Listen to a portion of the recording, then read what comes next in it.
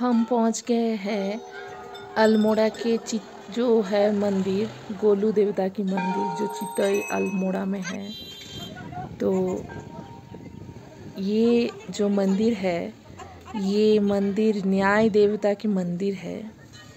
कहा जाता है कि आपको अगर कहीं भी न्याय नहीं मिल रहा है तो आप इधर आके गोलू महाराज के पास अपना कामना लिख सकते हैं और उसको आपके कामना को पूरी कर सकते हैं, क्योंकि गोलू देवता न्याय देवता के रूप में जाने जाते हैं। तो इसलिए इधर से दूर दूर से सारे भक्तों आते हैं, आके अपना कामनाएँ लिख के इधर बाँध के जाते हैं, मन्नत के रूप से। गोलू देवता भक्तों की सारी मन्नत पूरी करते हैं। तो हम इधर आए हैं जागेश्वर धाम से वापस आने के रास्ते में। और एक्चुअली ये अल्मोड़ा से आठ किलोमीटर लगता है लगभग रास्ता। अल्मोड़ा से आप अगर जर्नी शुरू कर तो लगभग आठ किलोमीटर लगेगा, आप पहुँच जाओगे इधर। तो ये जो मंदिर हम जहाँ से प्रवेश किए उधर से लाखों घंटा है मतलब बहुत सारे घंटे हैं जो भक्तों ने सब बाँध के गया है अपना मन्नत मांग के। और चारों तरफ़ एप्लीकेशन ही एप्लीकेशन है।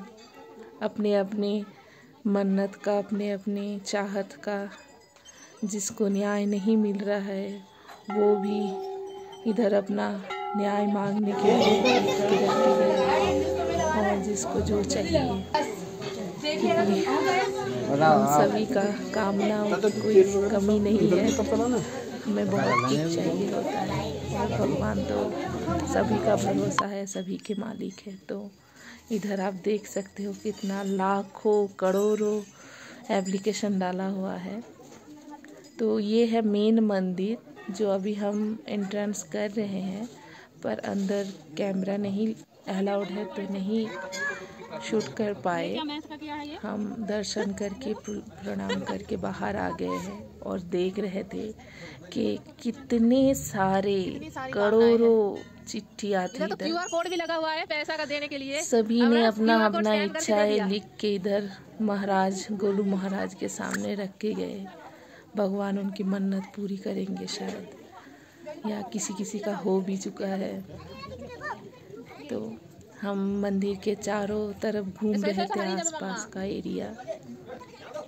तो सामने इधर एक भगवान शिव जी का मंदिर है। इधर भी हम सब प्रणाम दर्शन किए। और ये है गोलू टेंपल का एकदम ऊपर का ऊपर से व्यू। ये है मंदिर का पूरा एरिया।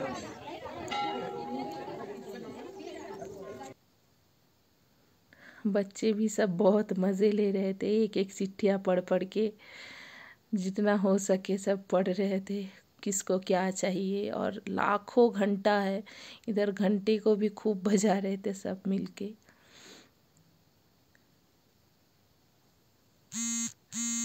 एक एक घंटा तो इतना भारी और इतना बड़ा है कि हम हिला भी नहीं पा रहे थे।